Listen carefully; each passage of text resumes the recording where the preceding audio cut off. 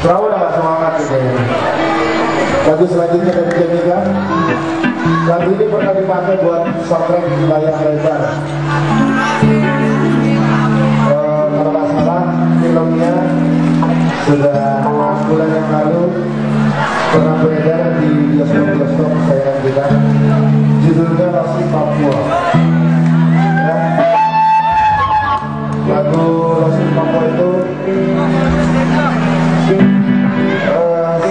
Contoh bahwasanya masih banyak daerah-daerah tertinggal yang masih belum diperhatikan oleh pemerintah kita.